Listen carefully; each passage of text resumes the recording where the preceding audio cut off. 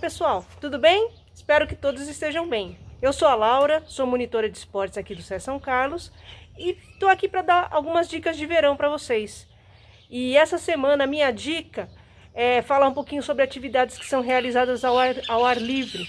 Então atividades como corridas, caminhada, pedalada, ou mesmo você se sentar na grama do, do, de uma pracinha, de um parque, para você ler um bom livro, pegar as crianças, pegar o cachorro, passear, brincar com eles um pouquinho ao ar livre, no parque, na pracinha.